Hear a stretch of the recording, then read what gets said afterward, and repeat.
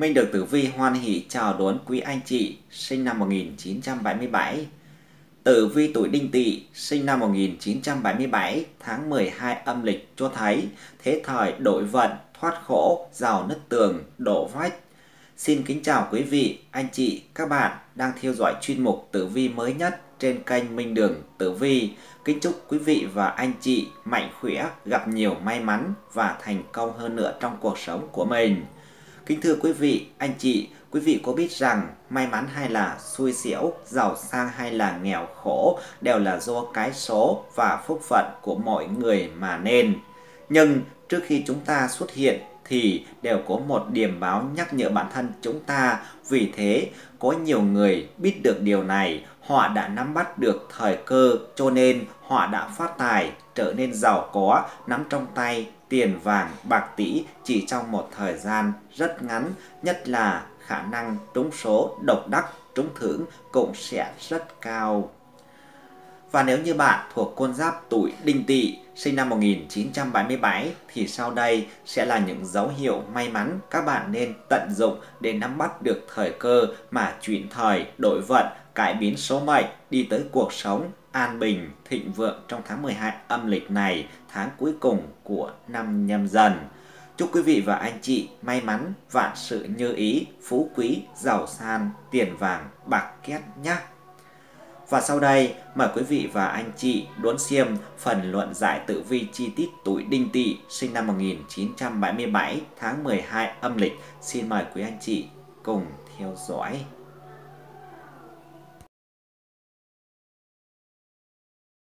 Người tuổi đinh tỵ thế thời gặp vận, thoát khổ, giàu có nứt tường đổ vách, chuẩn theo lời dự báo của giới tiên tri tử vi, các bậc thầy tử vi chân chính, có đôi lời nhắc mệnh dành cho quý anh chị tuổi đinh tỵ, sinh năm 1977 trong tháng 12 âm lịch năm 2022.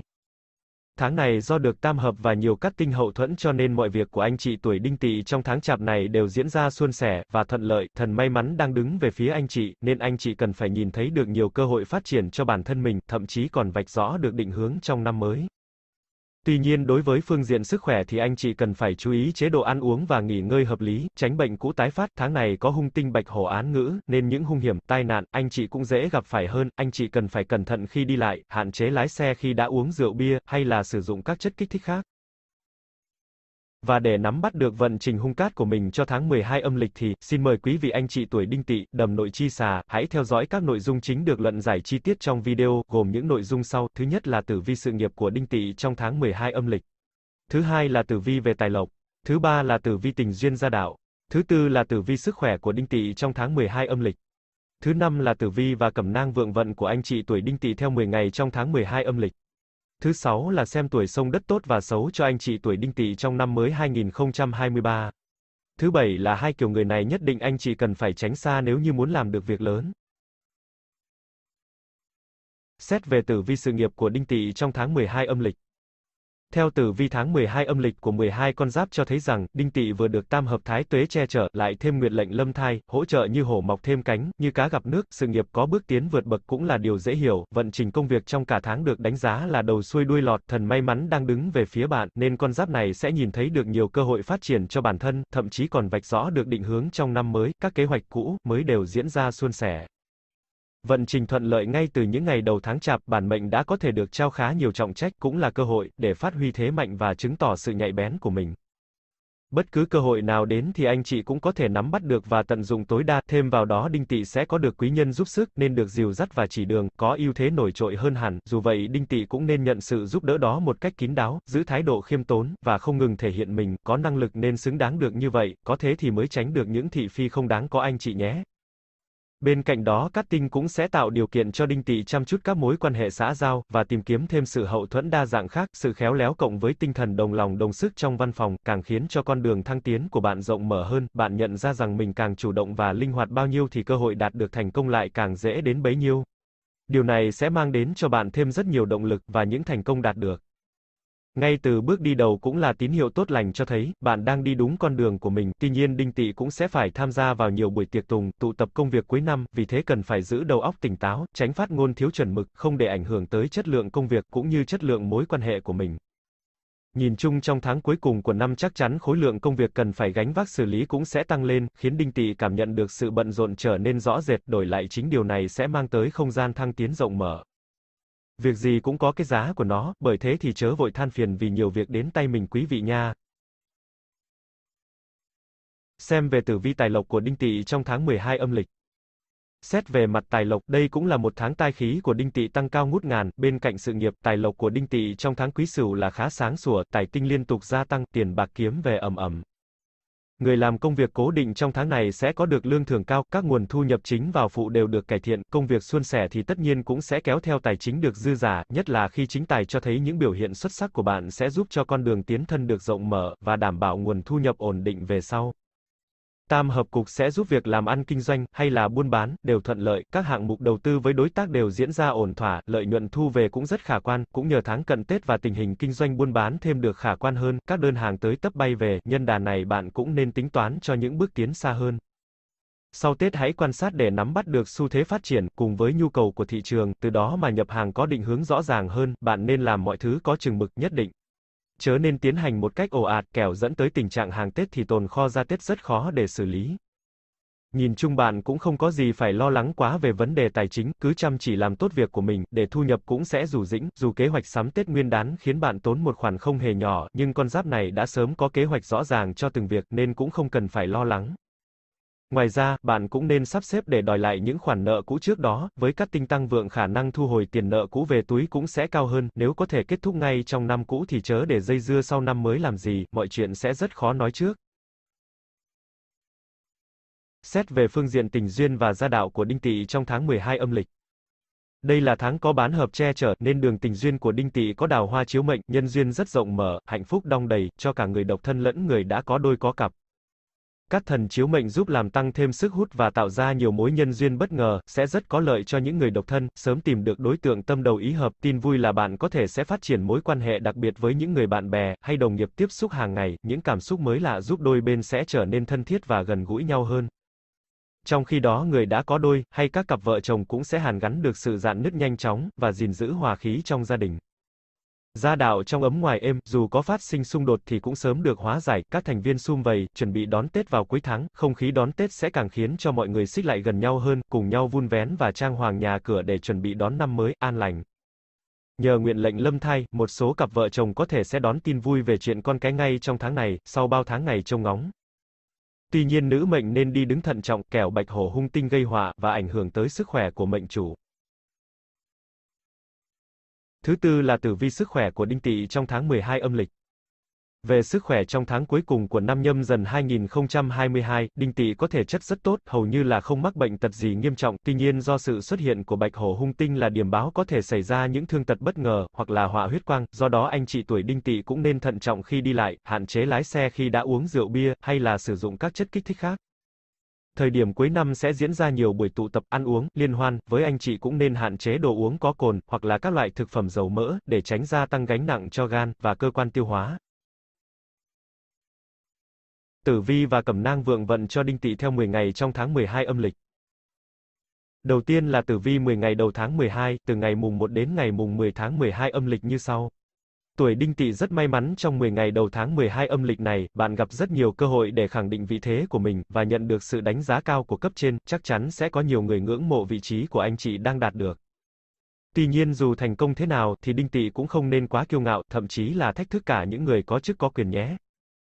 Đáng buồn là tài lộc của anh chị cũng rất vượng, nhiều cơ hội kiếm tiền đến với mọi người trong tất cả các lĩnh vực, thời điểm kiếm tiền chủ yếu xuất hiện từ giữa tháng đến cuối tháng, nếu như chăm chỉ làm ăn thì chắc chắn sẽ kiếm được một khoản kha khá, xứng đáng với công sức của mình. Chuyện tình cảm của các cặp đôi có dấu hiệu chuyển biến tích cực, hai người ngày càng thấu hiểu và hiểu biết cách làm thế nào để khắc phục những mâu thuẫn còn tồn tại giữa đôi bên, tranh cãi cũng là yếu tố thúc đẩy giúp hai người càng thêm thân mật hơn. Sao Bách Việt chủ về đào hoa cho thấy người tuổi đinh tỵ vốn có những nét hấp dẫn rất riêng biệt, bạn còn là người giỏi ăn nói, nên dễ dàng thu hút được sự chú ý của người khác giới. Người độc thân thì hãy tin tưởng sáng suốt nhận ra ai là người đang thật sự chân thành với mình, để phát triển các mối quan hệ lâu dài, không nên đóng cửa trái tim mình lâu hơn nữa. Thời điểm vàng trong tháng là 3 ngày sau ngày mùng 2 âm lịch. Hướng may mắn là hướng Tây Bắc và hướng Đông Nam, kết hợp với tuổi quý nhân là tuổi thìn, và tuổi hợi thì tỷ lệ thành công cũng sẽ cao hơn. Con số phát tài là số 15, 87 và 26. Thứ hai là tử vi 10 ngày giữa tháng 12 âm lịch từ ngày mùng 10 đến ngày 20 tháng 12, sự nghiệp của người tuổi đinh tỵ có thăng và có trầm trong 10 ngày giữa tháng 12 âm lịch này, nhưng chủ yếu là sẽ phát triển tích cực và đi lên, cốt yếu là bạn luôn chú ý khi bắt tay vào công việc, chớ nên kiêu ngạo, hay lơ là.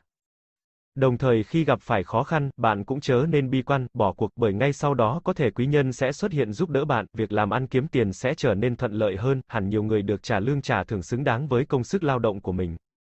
Bên cạnh đó, cũng có một vài người may mắn phát tài nhờ vào những trò may rủi, tuy nhiên dù có dư giả thế nào thì bạn cũng cần phải chú ý hơn trong chuyện chi tiêu, nhất là vào dịp cuối năm nhiều khoản chi tiêu như thế như thế này, đừng nên tiêu tốn quá nhiều cho những khoản lặt vặt hàng ngày. Chuyện tình cảm có nhiều dấu hiệu khởi sắc vào dịp cuối tuần, người độc thân thì cuối cùng cũng sẽ tìm thấy được người ưng ý, bạn có thể cảm mến đối phương ngay từ cái nhìn đầu tiên. Các cặp đôi thường xuyên tìm ra được cơ hội để ở bên nhau, cùng nhau tạo ra những kỷ niệm khó quên.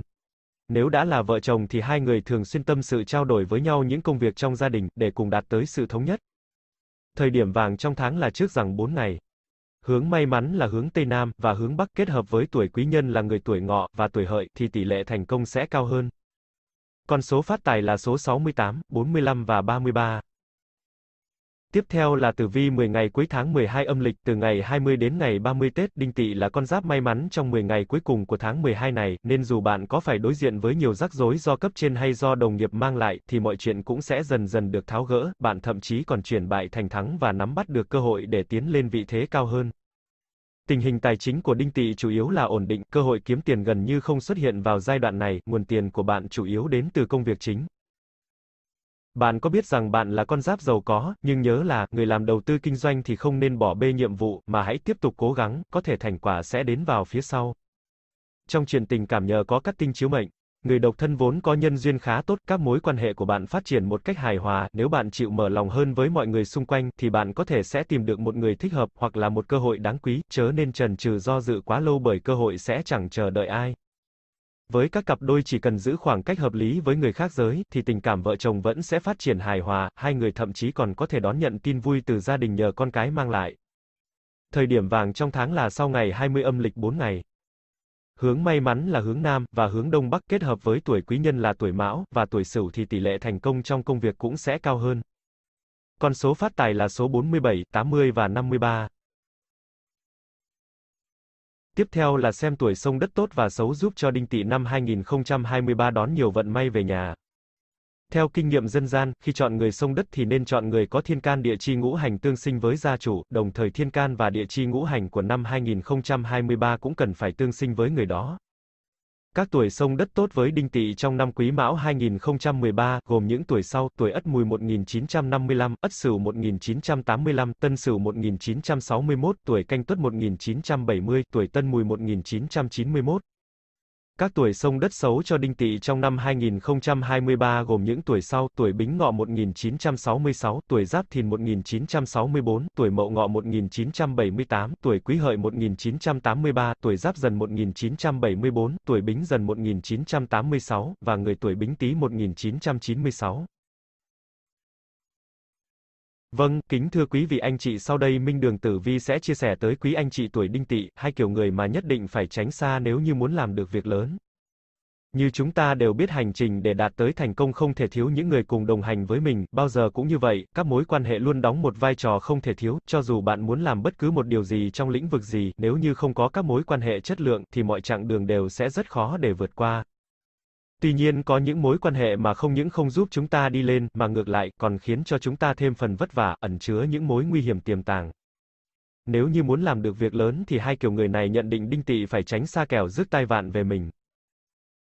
Loại người đầu tiên là những người chứa toàn cảm xúc tiêu cực, trên đời luôn có những người vô cùng lạc quan lúc nào cũng tích cực trong mọi hoàn cảnh, dù có gặp khó khăn, luôn tìm cách để vượt qua, mà không hề phàn nàn hay oán thán. Nhưng cũng có nhiều người luôn biểu hiện cảm xúc tiêu cực rất mãnh liệt, bi quan trong mọi trường hợp, nếu có một người như vậy trong hạt nhóm của mình, nó sẽ ảnh hưởng đến sự nhiệt tình của toàn bộ đội nhóm, và làm suy yếu sự thống nhất. Đặc biệt là khi những cảm xúc tiêu cực có thể lây một cách rất nhanh chóng, bạn cũng sẽ chịu ảnh hưởng và giảm hiệu suất, giảm kỳ vọng cho tương lai. Nếu bạn đang ở trong giai đoạn phát triển, cho dù đó là bắt đầu kinh doanh hay làm việc, bạn cũng sẽ đối mặt với rất nhiều thử thách và khó khăn. Đây là thời điểm mà bạn cần tránh xa những người tiêu cực. Hãy giữ cho tâm trạng của mình những điều tích cực và nhiệt huyết để tăng khả năng thành công trong tương lai nhiều hơn quý anh chị nhé. Loại người thứ hai là những người luôn có tư duy phê phán và chỉ trích. Trên con đường phát triển có tư duy phê phán để nhìn nhận vấn đề ở nhiều khía cạnh khác nhau, sẽ giúp bạn phát hiện cả ưu và nhược điểm, lường trước được rất nhiều rủi ro, tránh được những cạm bẫy tiềm tàng. Tuy nhiên nếu sự phê phán này lan rộng đến tất cả mọi thứ, bạn sẽ không còn làm được việc gì khác nếu trong nhóm có một người lúc nào cũng phủ định tất cả mọi ý kiến, và đề xuất luôn đưa ra những chỉ trích một cách rất tiêu cực thì họ sẽ ảnh hưởng nghiêm trọng đến các thành viên ở trong nhóm, họ có thể gây ra nhiều tranh cãi khi giải quyết vấn đề, khiến cho mọi người không thể đi tới một phương án thống nhất, điều này chỉ gây ra những thiệt hại lớn hơn so với lợi ích mà bạn có thể đạt được. Vâng, trên đây là những chia sẻ rất tâm huyết đến từ ban biên tập chương trình, kênh Minh Đường Tử Vi, cũng rất mong muốn rằng Đinh Tỵ sẽ đón được nhiều vận may, và hái được nhiều tài lộc về nhà, trong dịp cuối năm 2022. Xin chân thành cảm ơn quý vị anh chị đã quan tâm và theo dõi chi tiết hết video của chúng tôi. Mọi ý kiến đóng góp và thông tin cần được tư vấn hỗ trợ, quý vị anh chị vui lòng comment đầy đủ họ tên, ngày tháng năm sinh, và câu hỏi cần được giải đáp. Bản biên tập chương trình sẽ tư vấn và giải đáp cho quý vị trong thời gian sớm nhất.